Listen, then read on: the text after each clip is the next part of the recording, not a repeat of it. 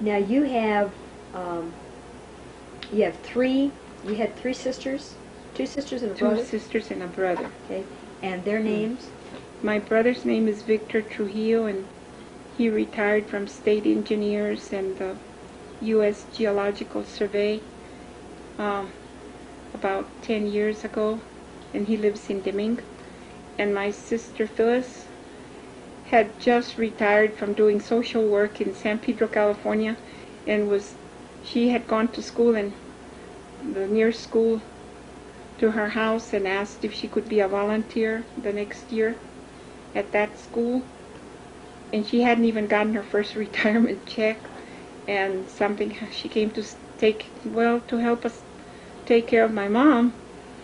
And she hadn't been with my mom but about nine days when she had this the heart attack. And we could not save her, she died. And Phyllis had, has a big family. It was real hard letting them know what had happened overnight.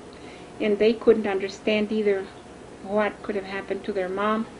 And my mom was already 90 years old, so it didn't take but a few months, and she died too mm-hmm. in 1991. And your, and your other sister? And my other sister is Teresa, and she has five sons. And at the time that my mom died, three of them were still at home with her and Joe, and Joe would would take care of the boys so she could come and take turns with me, and we took care of our mom mm-hmm. till she died. And my mom died in Deming, and she lived by her sister Josephine. And some of these saints that I'm keeping there were my Aunt Josie's, and I happened to inherit them because she too didn't outlive uh, the rest of them too long. She died too very soon afterwards. Now, your, uh, on your aunts and uncles, you had quite an extended family in Monticello.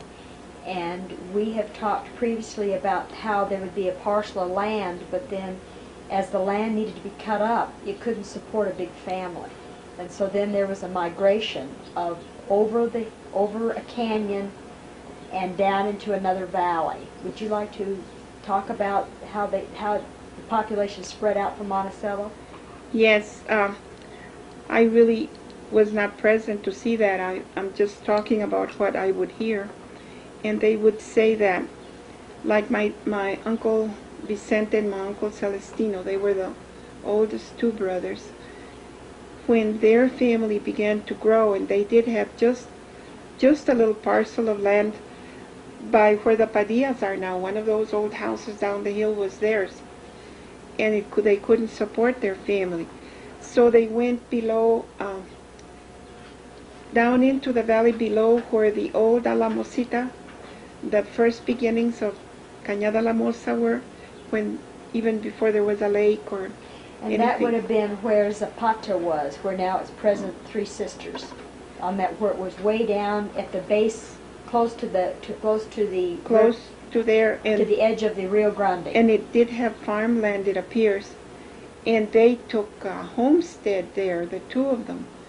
Um, later, they sold it to to VG Trujillo, to Vilialdo, and some of the other Trujillos, and they moved to Silver City because of the mining days, and they decided to go work in the in the mines.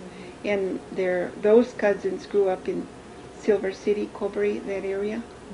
Then, uh, And isn't in fact Cel- uh, Celestino is buried in Central, yes, in Central, because, and Tio Vicente later went to California because his oldest daughter married a man from California, and uh, this was during the Depression, and he went to, took the, the younger kids that he, they were not old enough yet to make a living on their own, and they moved to California, and we didn't see them very often.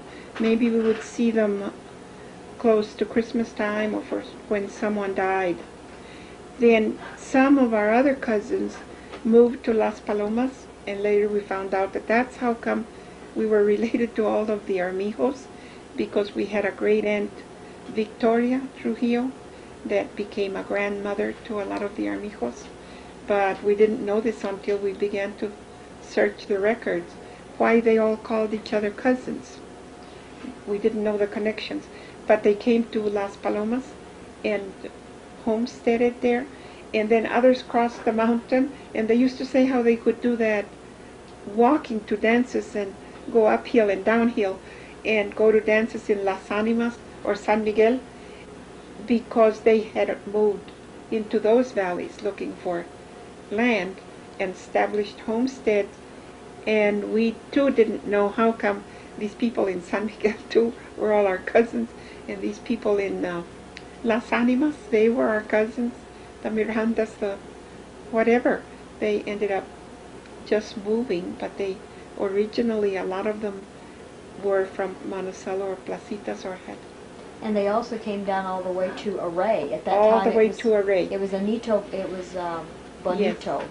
Pueblo Arroyo, Arroyo Bonito. Arroyo, Arroyo Bonito, and, the Trujillos there were tied back into the Monticello group as well. And they also tied into the Bencomos and the Grijalvas, and they used to call them cousins, but I didn't know why.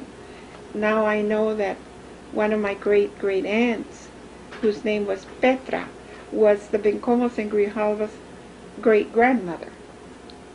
But I, I never knew this until I moved. And that I began to ask my dad questions. And my dad said, Well, that was our Aunt Petra, and she was a real leader. He'd say, everyone waited for a funeral. When there was a funeral, everyone waited till she arrived with all her entourage, you know, to the family. Or if there was a wedding, everyone would wait till she arrived because she decided how to give all the orders. You, you do the bizcochitos, you do the red chili, you do the killing the pork outdoors, and that set up the ovens outdoors to take care of all of this. And she'd say, and we're going to stay up all night so that this food will be fresh and won't spoil for whatever. And she was the Bencomas and Grijalva's great grandmother, I found out now. Isn't that something? Now, when when um, Juan Nepomuceno Trujillo passed away, and he was his wife was Vidal Torres, who was much younger than Juan Mhm. Eni. Yes, she was just 48 years old. Story says when he died, because she had married him when she was just like 13 years old. She had nothing to do with her wedding. Her dad promised her to Juan N. Trujillo, and and she had nothing to say about it except that she said, "Well, who's getting married?" When she heard the commotion, and they said, "You are," and she said, "Oh no, I'm not," and she went and hid under a bed. and they had to retrieve her. And her mom told her, Well, you're going to be well taken care of because he has his mother and he's going to hire a woman to be with you, uh, I guess, to teach her how to do everything. And she said, sure enough, that there was someone living with her and his mother for like three years when her first son was born. And then after that, she was on her own. And you are named after Vidal Yes, I, she was my godmother when we went back to Monticello after being born in Deming, and uh, so I inherited her name Vidal, which is very hard to pronounce. And some people say, "Well, where did you get that name? Isn't that a man's name or a last name?" And it is. It's a man's name, and it's also a last name. But I don't know how where she got it. One of the things that you told me was that when Juan Juan Nepomuceno died, that Frank Winston showed up with the first commercial coffin. that had ever been brought to Cañada Alamosa. And they said he had a brand new wagon, uh, that it was green and orange wheeled with uh, two teams of horses, and he was bringing a lot of the relatives with him for the meeting with my grandmother. And he bought the first commercial coffin to Monticello, and my grandmother said, Well, I don't know that I can pay for it. And she said, How much is it going to cost? He said, It's not going to cost a cent. He said, um, this is what I want to give him before, you know, at the end. And apparently they were good friends. I guess that they were, it sounded as if though they bartered and traded a lot. Uh, it sounded as if though my grandpa would take him all of the wheat he could gather, all of the corn, alfalfa, and then he in turn would, uh, I guess, would supply him with goods that that the people in Cañada Alamosa needed, you know, for living, like basic stuff. And it sounded more like it was just uh, food, coffee, salt, baking powder, things that they could not produce. And Frank Winston was a very was a very generous man, and that's why the, the name the town changed its name from Fairview Yes. to Winston in honor of that. he was a mentor to Vilialdo, to V.G. Trujillo. And I think he had a lot to do with with his um, training him to be a merchant of of sorts, you know, all kinds of trading. And uh, then this other, the priest, had something to do with his education. And in turn, he became a good uh, a mentor to all of the younger Trujillos, I would think, because I don't think they could, I don't think they could study in English. The schools all taught in Spanish, territorial days. Teachers taught in Spanish. They read and wrote in Spanish.